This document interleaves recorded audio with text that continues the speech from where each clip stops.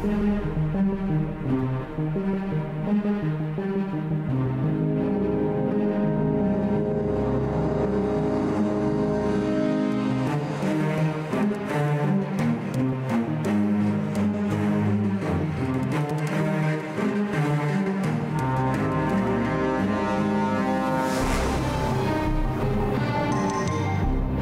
أنا كنت اتلقى تهديدات تقريبا بشكل يومي إنه راح نوصل لك. كانوا حتى يدزوا يعني كان الشخص من يهددني يقول أنا اسمي فلان هالقد عمري من فلان ميليشيا إذا لزمناك راح نسوي لك هيك راح نغتصبك راح نقتلك أسوي شيء غير قانوني بالنسبة للدولة. بس الخوف الكبير ما كان الدولة وانما كانت الميليشيات لأن الدولة ممكن راح انسجن أتعاقب كم سنة واطلع بس الميليشيات عندنا بالعراق المسلحة ما تتعامل بهيك شيء. حتى ما تدز تهديد يعني إذا وصلت لك مباشرة راح تنقتل.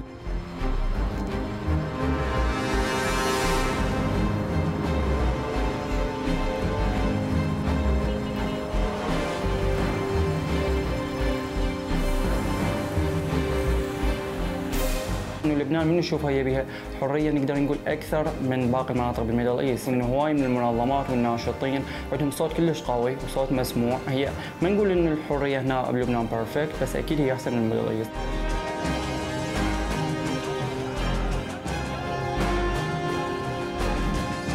وصف أمين عام حزب الله حسن نصر الله العلاقات المثلية بالثقافة المنحرفة ودعا صراحة إلى العنف ضد المثليين. إذ دعا إلى قتلهم وحث الناس على وصفهم بألفاظ مهينة.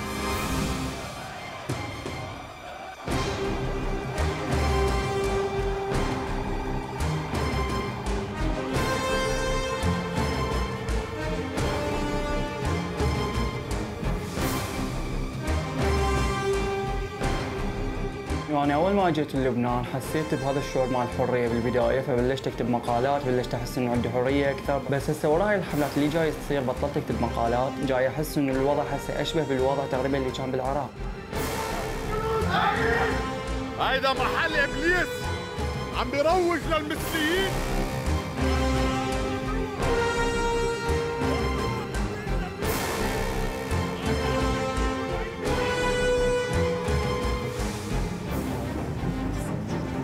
ما عندي مشكل معهم شو بيعملوا بتختهم ببيتهم؟ ما عندي ولا أي مشكل معهم.